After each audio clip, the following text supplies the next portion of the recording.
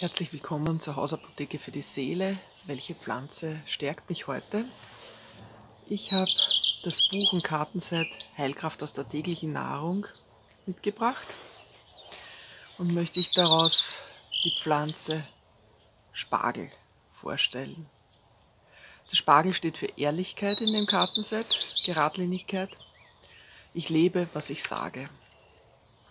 Und ich lese euch jetzt ein bisschen was von der Rückseite der Karte vor, die seelische Bedeutung enthält und auch äh, Inhaltsstoffe.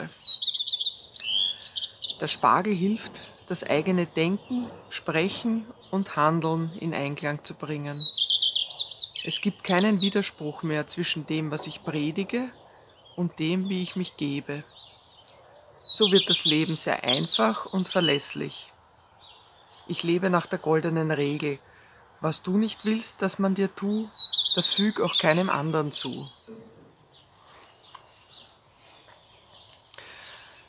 Der Spargel gehört zu den Liliengewächsen und wird so ungefähr einen Meter hoch, wenn er auswächst. Und äh, verwendet werden die, die Sprossen in der weißen Form oder in der grünen Form. Beim weißen Spargel wird der Spross so angehäufelt, dass die Pflanze eben kein Chlorophyll äh, bilden kann. Der Spargel ist eine alte Gemüse- und Heilpflanze. Er kommt aus dem südlichen Mittelmeerraum, aus Vorderasien, wurde aber auch schon in China sehr lange angebaut, angeblich 5000 Jahre lang schon. Und ja, in Mitteleuropa hat sich der Gemüsespargelanbau ab dem 16. Jahrhundert durchgesetzt und war da vor allem eben für die reichen Leute eine Delikatesse. Er besteht fast nur aus Wasser, also 92 Prozent des Spargels sind Wasser, aber eben auch viele Vitamine, Mineralstoffe. Er wirkt auch entwässernd, als Frühjahrskur sehr gut geeignet, also jetzt gerade April bis Juni gibt es Spargel hier in unserer Umgebung. Ja, entwässernd, äh, blutbildend, reinigend. Er verjüngt die Zellen, stärkt die Libido, das Immunsystem und das Herz. Durch die Elemente Kupfer und Eisen reduziert er die Aufnahme von Blei im Körper.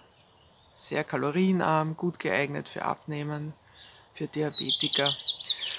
Man kann den Spargel auch roh essen, oder eben kurz blanchieren oder braten in der Pfanne.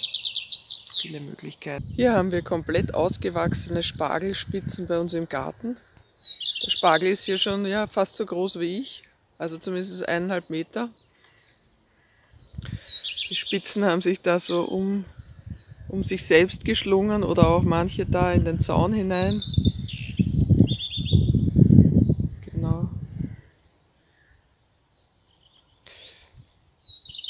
Man kann die Spitzen noch immer essen. Schmecken ausgezeichnet. Schönen Tag.